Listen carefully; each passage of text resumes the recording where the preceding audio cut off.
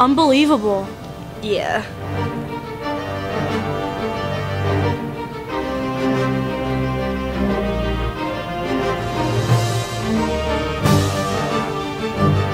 Jesus, how, how can you leave her like this? I'm not good with dead people. Well, when did you first notice her? I just got here a few minutes ago. I walked in just like you, and there she was. Well, what are we gonna do? I can't believe this is happening right now. I have no idea. It's why I called you. Right, does anyone else know about this? Just you. Well, who is she? She's actually Cisco's partner. Cisco's partner? Gangster Cisco? Gangster Cisco's partner?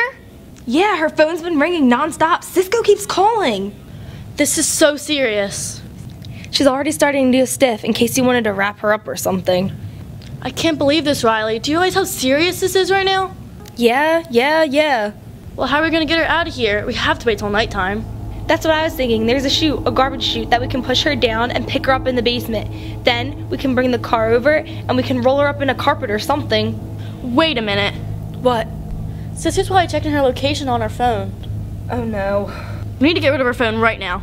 Should we break it or go flush it down the toilet or something? You don't flush it down the toilet. We need to turn it off. Just switch off the phone. Right, let's do this. I got this, I got this.